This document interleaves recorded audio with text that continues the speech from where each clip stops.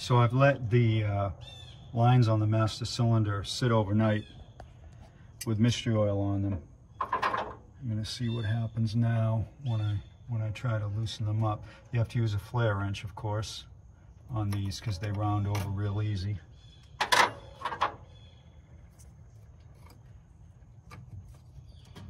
And it's loose, of course, but the whole line is spinning. I don't know if you can see that on camera, but when I put this on, see how the whole thing's spinning? That's not good.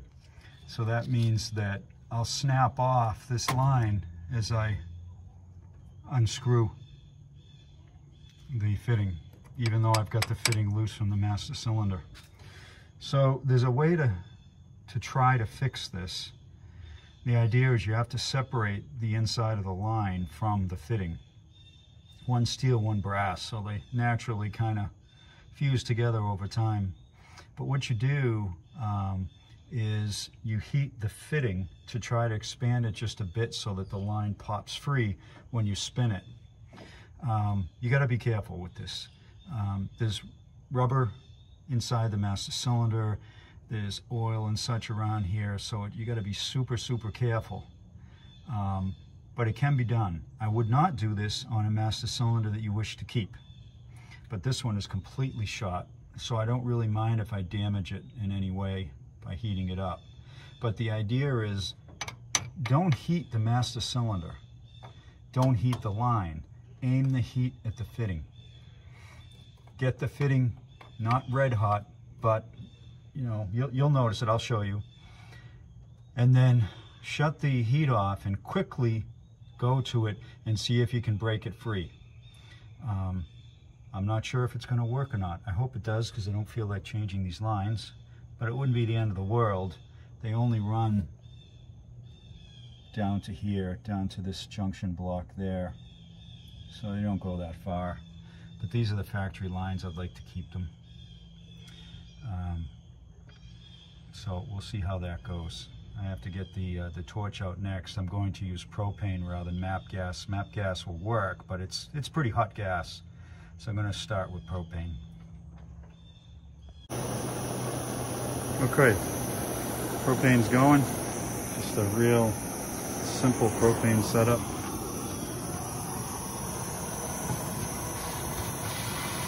aim the tip of the flame at the fitting. This is, I'm not sure why this has such a long flame on it. Um, I don't really like that. Let me see if I can get this flame to a little bit shorter. Yeah, that's better. That's better. A little more controllable that way. Now this looks cool camera. Doesn't look that cool in real life. But I'm just heating up the fitting. Not the master cylinder, not the line. Now they're all going to get hot, of course. But my intention is to expand the fitting so that when I crank on it, it'll pop loose from the line.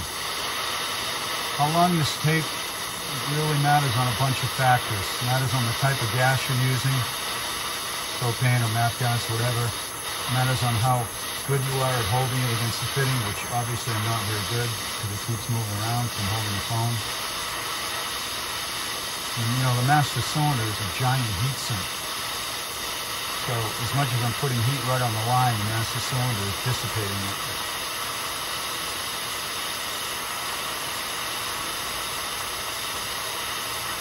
This propane might not be hot enough. I may have to go to MAPP gas.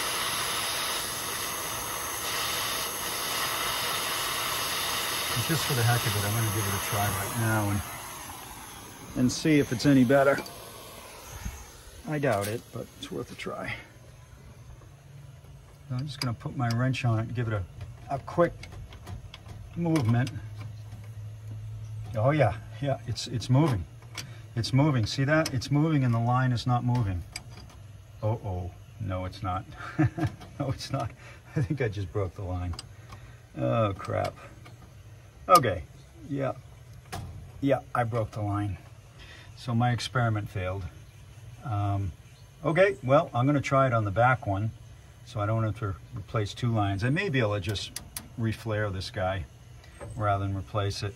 Um, the back one, the the, uh, the fitting's a little little bigger, so maybe it'll work better. And I'm also to use the MAPP gas. This propane's not working for me. All right, now we're to try it with the MAPP gas. MAPP gas is way hotter.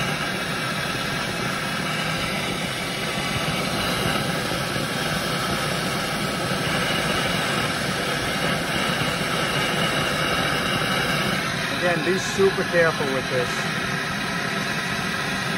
Make sure you're not hitting the flame anywhere else. Just really, really hot.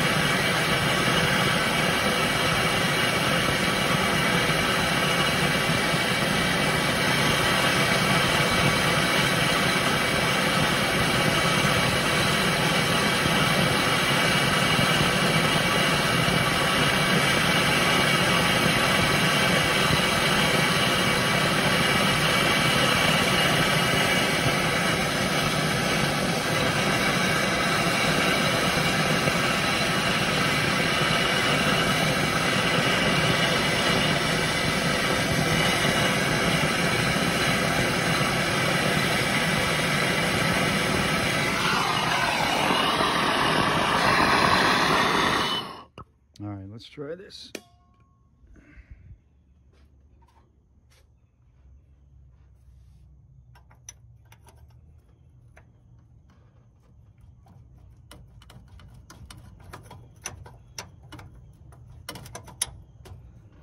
Not sure about this one either. It's moving the same way the other one did.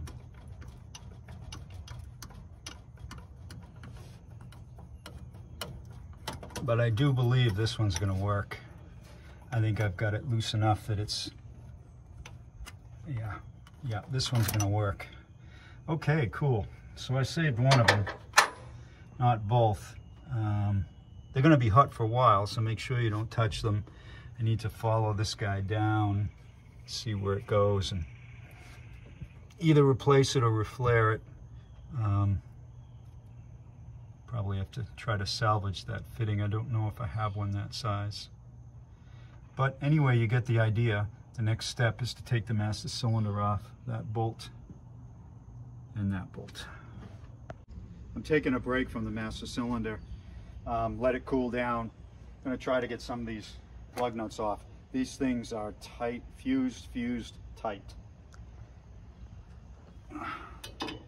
I've already tried these a few times. And this one I've got a little bit loose. Miracle. Miracle of miracles.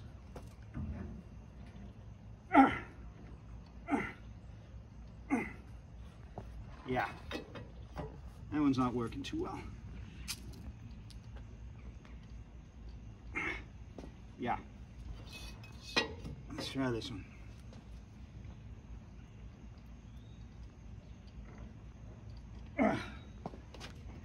Okay. No. I got this one.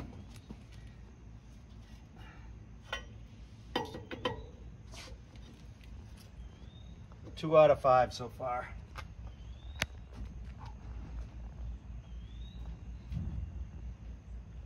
Whoa.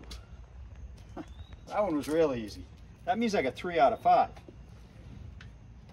That's pretty cool and very unexpected.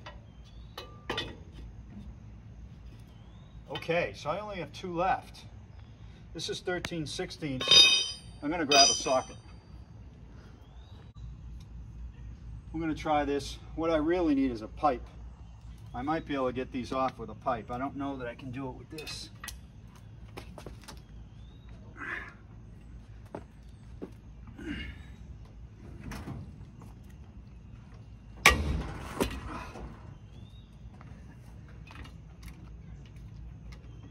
That's four. One more.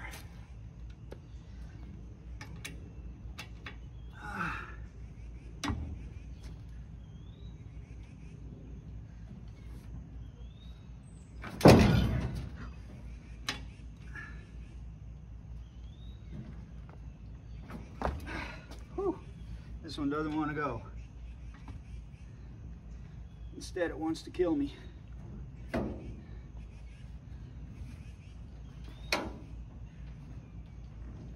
on. Oh, got it. got it. Now, there might be some of you saying, why isn't he using an impact gun? Because I can't find it. It's somewhere in my garage and I can't find it. So I'm doing it the way it used to be done when men were men, which is why it's so hard for me. All right, so this wheel's loose. All right, let's see what we got under there. Well, I haven't jacked it up yet, so I'm not going to take it off right now. Probably do that tomorrow. But it's loose. Only three more wheels to go. The master cylinder's out. See, there was a nut there and a bolt here. It's not good on Ford. You have to actually have a wrench on either side to get these out, unlike GM's. I'm not sure if it was factory like that or if someone messed with it over the years, because that doesn't seem like a very good design. Anyway, here it is. And as you can see, the front port isn't leaking at all. It's completely plugged up. The rear port's leaking a little bit, but I took this off. This is the rubber boot that goes on the end, and look at that. That crystallization is moisture. So, this thing's in really bad shape. Really bad. Um, finding a master cylinder for this truck has proven to be very, very difficult. Um, I've got one, but I'm not sure it's going to work. Hopefully it will. But uh, the actual part number for this you can't find anywhere. So we'll see how that goes.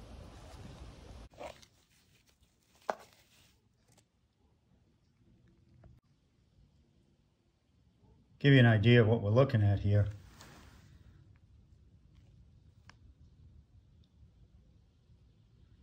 Almost completely black, just full of sludge. Look at that. I don't know if I've ever seen a master cylinder that bad. I mean, this is really, really bad. So I'm going to drain it out. Um, obviously, I don't think this is savable. I wasn't able to find a rebuild kit for it.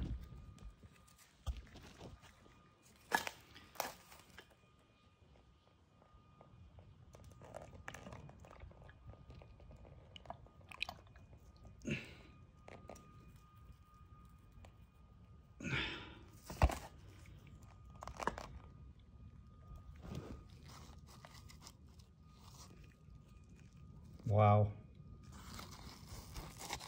Wow. It's almost like someone put dirt in there. Very, very bad. I'm hoping the master cylinder I've got works. Because if it doesn't, this one's going to be tough to rebuild. But we'll see shortly. I got the line out, the one that was coming from the combo valve here all the way down to the piece that broke on the master cylinder. Now I'm going to uh, cut it and reflare it. You have to be careful here because see how pitted that is? I'll wait for the camera to focus. There you go. You can't use that. It's too short. It's not safe.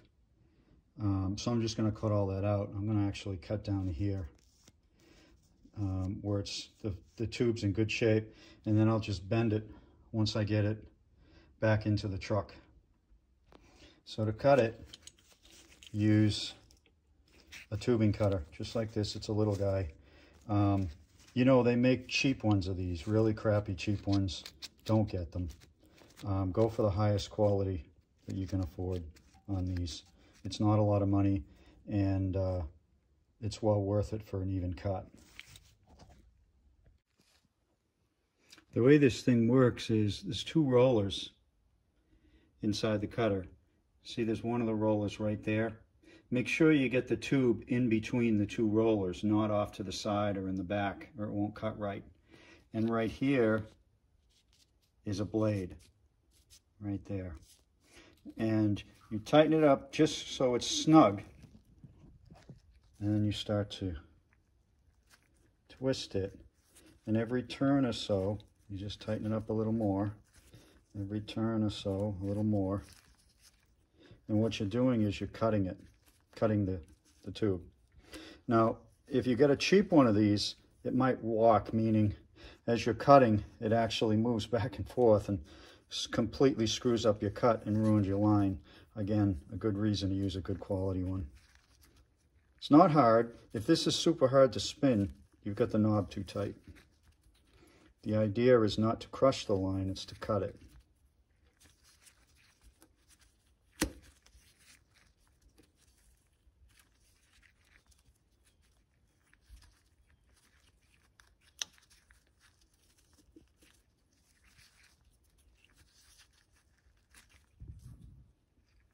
You can't see it here, but I can see I've got a real nice cut going on here.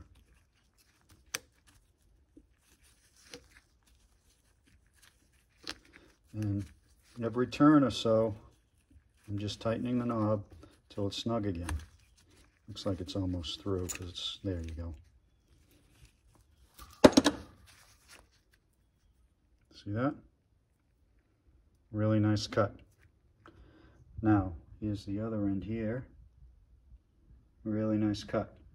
I'm going to uh, chamfer the hole just a little bit. Um, make sure that there's no filings in the way or anything like that. All good. And then it comes time to flare it. I'm going to show you how I flare it. So there are a lot of ways to flare fittings, but I've always wanted to do them as professionally as possible since it's brakes we're talking about. So this is called a uh, tubing flare tool. Um, it looks very exotic. It's not, um, but it's well worth the money. This was not cheap. I don't usually buy super expensive tools, but this was not cheap.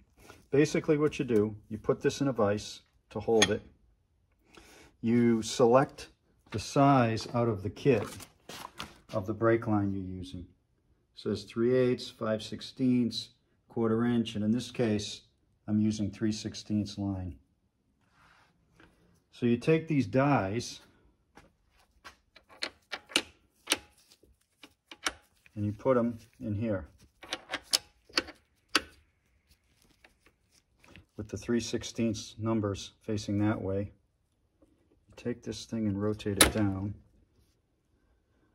And then, before you tighten this up, you take the line here Make absolutely sure your fitting's on first. I can't tell you how many times I've done this and flared a nice flare and not had the fitting on it. I'm not going to be able to do this with the phone in my hand, but I'll show you how. You put this in the middle. Yeah, this is a bit tricky. Okay, what I'm going to do is I'm going to tighten this up a bit. Just a little bit so it kind of holds the dies in a little bit. You put the line in, the line's got to be a straight piece, obviously. This this line's pretty long, so it's it's it's really hard to get this on on the phone. I might not be able to do it. Let me come back when I've got it in place. Okay, as you can see the line's in and the end is sticking out. So how do you know how much to let stick out? Well, let the tool figure that out for you. What you do is this thing rotates and it's got a flat edge. Just roll the flat edge to where it's pressing against or will be pressing against your your line and then just pull this handle here towards it. And it, until it stops and now you know the line is in the right spot. So you can tighten this down. You don't want this you don't want this line moving. So tighten this down good.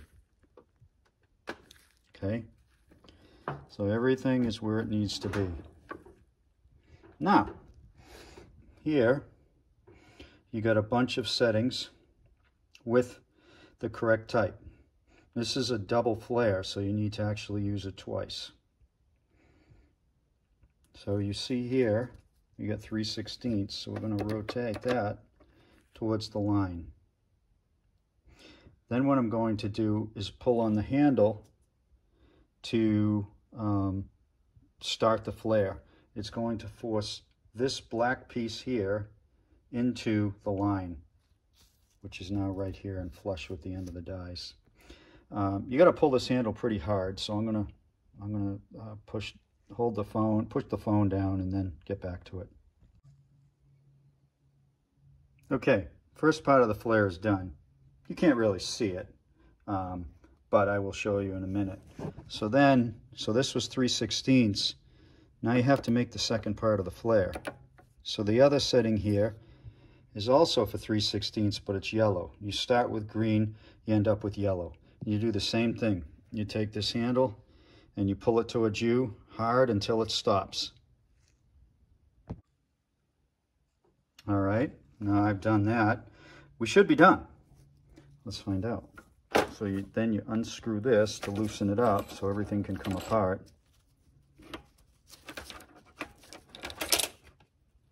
Take the line out. And look what we have there. Boy, the focus isn't working too good, but look at that. Perfect flare. Should This should fit right good against it, which it does. We're ready to rock and roll. This came out real good. Real good. Wish the camera would focus on it, you could see. Okay, so this is done. I decided not to try to rebuild the old master cylinder yet. I'm going to try the new one, see if it works. It's not the exact right part number, so I have to try it. Um, but what needs to be done is something called bench bleeding. Bench bleeding is usually done on a bench, and it's bleeding the air out of the master cylinder, not the actual system in the truck, the master cylinder. Since this is manual brakes, it's super simple to do it once it's installed in the truck. There's no need to do it on the bench and then make a mess when you're trying to put this in. So what you do, you put these tubes into the ports on the master cylinder. Fill the master cylinder up, and then you're just going to press the brake pedal, and the air will come out of the master cylinder and flow back in to here, into the reservoir, and then pick up fluid on its way back. And by doing that, it, uh, it evacuates the air from the system. Um, so you want to make sure there's enough fluid in here so that you don't introduce more air when you're doing this.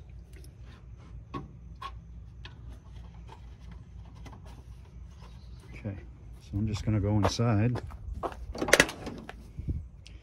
press the brake pedal.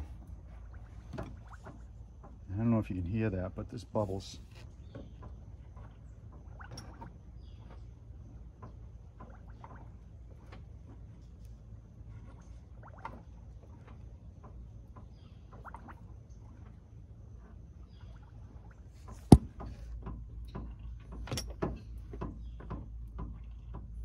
Okay, now I don't bubbles anymore. So it's blood. It's not simple. Not simple. Okay, now it's time to hook up the lines. one thing I have to deal with with every rescue I've ever done is blown brake lines. When a vehicle sits for a long time, the brake lines rust out. And uh, this truck is no different. This line, and for the camera to focus right there. It's uh, it's a little bit dented in and it's just rusted enough to have a hole in it. This is uh, a very long line, goes all the way from the master cylinder to halfway down the bed. super long. And this is the exact same line that blew on the red 72 that I rescued a while back. The exact same one. Um, these lines go across the frame on the truck, and then they dip down a little bit for whatever reason. The uh, brake line actually goes like this. So it dips down, and where it dips down, it rusts out. Um, not sure why Ford did that, but apparently it's it must be a common problem because it's now the second time for me. So um, there's a few things I did. Um, you could cut this out, reflare the ends, and uh, put a connector in. Um, there's nothing wrong with doing that, but on an old line, you take the risk of problems with other areas of the line blowing or leaks. If you look at this section here, it's pretty pitted. Uh, see that where I've sanded it? You can see the pits where the rust is. I, I don't want to use this line. It's, it's too old, it's too short, but it's really, really long. So what do you do about that? What I've done is I purchased this line off of uh, Amazon. I think the company is called Four Lifetimes or something like that. I've never used this before, but it's uh, it's 3 16ths like I need, and it's 25 feet, which is more than I need. And it, it's cool. I didn't know this, but it comes with a bag full of connectors, which is real nice. Uh, always good to have these things around. They're not brass, but they'll do. And uh, I think one of the connectors I can use here, the factory Ford piece where it goes into the combo valve, that's a huge connector for a 3 16 line. Now I can reuse this if I need to just by cutting the line and taking this off, but I'd rather not. Um, I'd rather use a new one, and it looks like this kit will have one. So next step, I've already showed you how to use this to flare the lines. So I'm going to flare the line at the big connector side, then get underneath the truck and see just how long the piece has to be. Given that this piece is 25 feet, I don't need it all, but I don't know exactly how much I need. So I'm on to that now. So I've got the uh, back line out as well. This is the back line. Goes all the way from the junction block all the way up to halfway up the bed. And I'm preparing the new line. This stuff is uh, very interesting. It's pretty flexible. You can bend it with your hands so it's going to be, uh, I think it's going to be easy to go in. I'm going to come in from the very back and run it all the way forward. This is my connection in the front that I just made with the flaring tool. And I'll come all the way back, figure out how much I need, um, cut it, and then flare it, and uh, hook it all up. Should do it.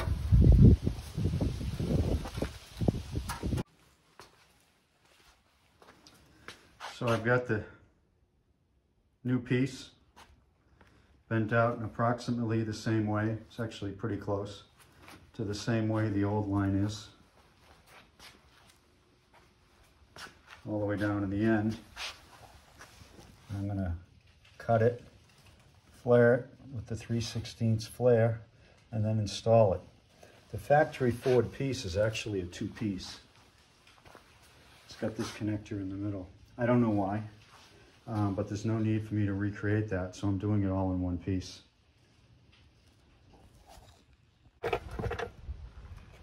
So I got the brake line in, looks real good. Doesn't appear to be leaking, but everything's so full of air, it's hard to tell yet. Got the brake drum off. It was no problem. The uh, brake shoes are in really good shape. Um, there's quite a bit of cobwebs and stuff in here. This wheel cylinder, it doesn't look original to me. Um, I've got new ones, but this one really does not look bad. Um, based on, on peeling the rubber boots back, it looks almost new in there. But I'm willing to bet that the uh, bleeder screw and back won't come out. So if it doesn't, then I'll just swap the whole thing. Um, but we'll see. That's next step. I'm going to see if I can get the bleeder screw loose. Well, I'm surprised. The bleeder came right out. It's a 10 millimeter wrench to take it out. And as you can see, that hole is usually, if there's rust inside the, the wheel cylinder, that hole is plugged. It's open. So this leads me to believe that this wheel cylinder is not bad. Um, so I'm going to clean this up just a little bit, put it back in and see if I can get some air out of the system. So the uh, driver's side was a real bear to get off because the e-brake is stuck on, the handbrake.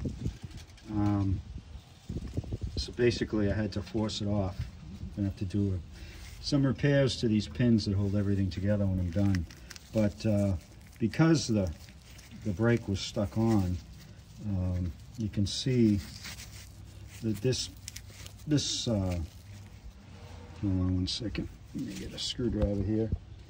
But this wheel cylinder that I've got in my hand was pushed out a little bit, actuated basically, and it shot.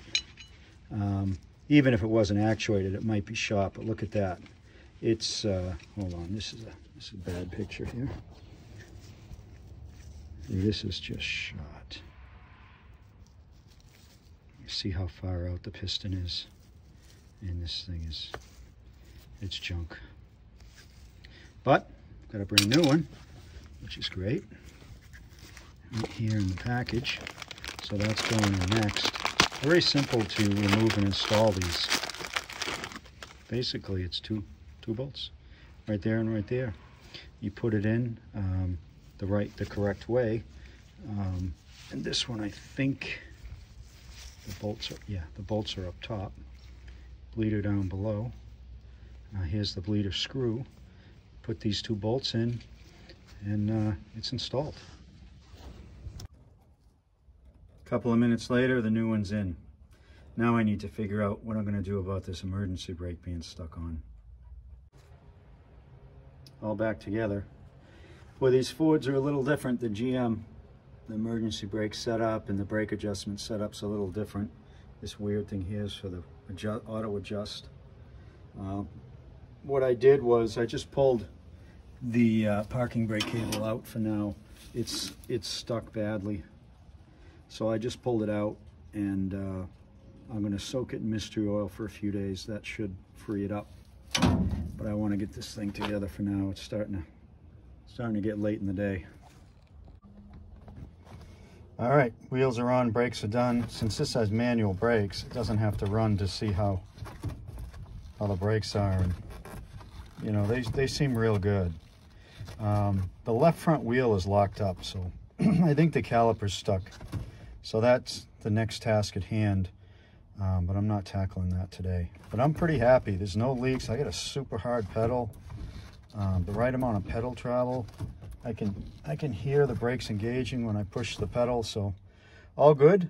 Um, once I get the front wheel freed up, I might be able to take this thing for a ride.